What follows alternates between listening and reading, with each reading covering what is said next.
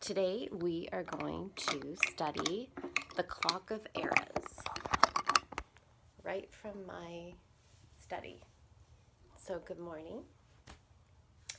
We're going to need a few materials to do this work. I'm going to refer to a clock.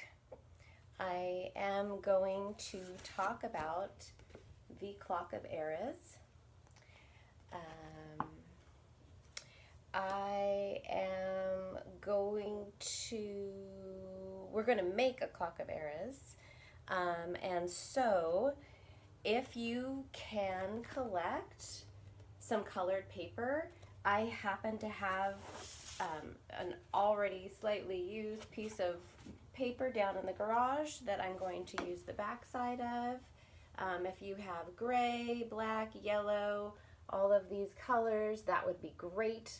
If not, we will make do because we are going to be very flexible during this time of not being at school.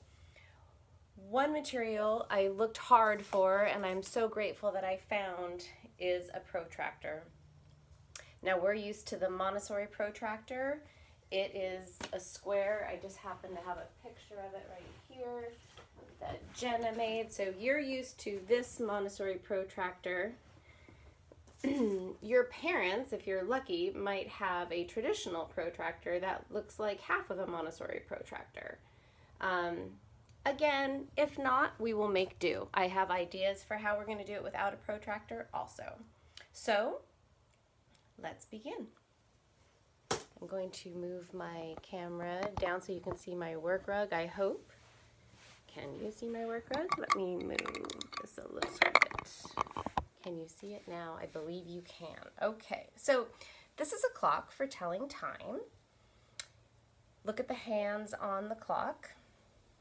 The hands show the passage of, well, this one just has minutes and hours, and of course, other clocks also have a second hand. This clock is telling time as it's passing right now. We are going to make a clock of eras. And this illustrates time that has already passed.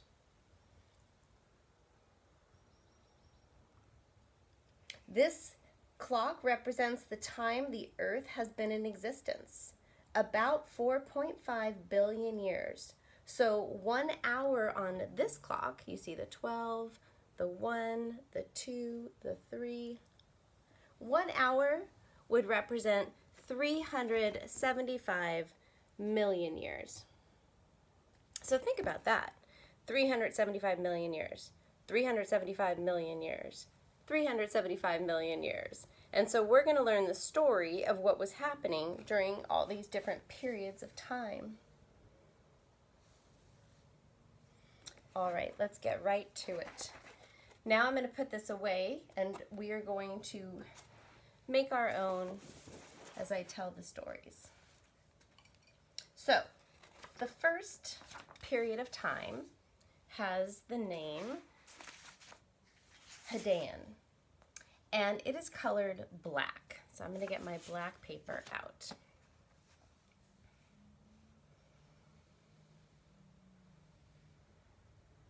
The Hadean time,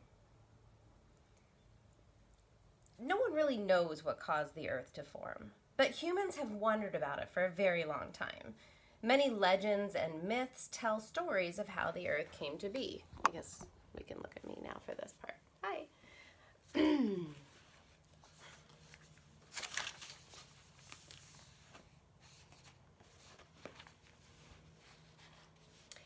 This is the story told by the rocks. Before the moment of creation, there was nothing. And you remember this from the creation story. It was dark, darker than the darkest cave. There was no light at all. It was the coldest cold, for there was no heat. Suddenly, the energy of creation came forth. Now there was heat and light. Now there were gases and dust particles. Now all the elements were just right for building planet Earth. So the Hadean time, let's go down to our black paper here. This section of our clock is colored black because there was no light. Can you see that okay? The laws of nature were at work. Elements were attracted to each other and great collisions occurred. The elements that would be our sun came together with such force that light and heat were created. The light and heat still blazes today. Different dust particles, and you'll remember some of this from the creation story too. Different dust particles and gases swirled around and away from the sun star. They collided too, but with less force and heat because they were so far away from the sun. These collisions became meteorites and tiny baby planets. The dust and gases formed hot liquids as they cooled. One special planet was a perfect distance from the sun. As it cooled, it became a crust around the hot liquid center. The liquid center moved around under the crust it made cracks in the crust, and the hot liquid shot out. The ash and lava that came out built rocky cone shapes. The crust got thicker and thicker. These are the oldest rocks on the planet. They made the first layer of the crust.